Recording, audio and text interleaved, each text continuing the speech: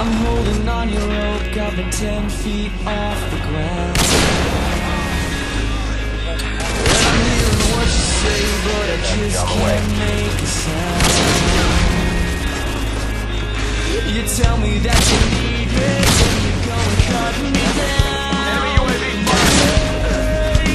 You tell me that you're sorry, didn't think I'd turn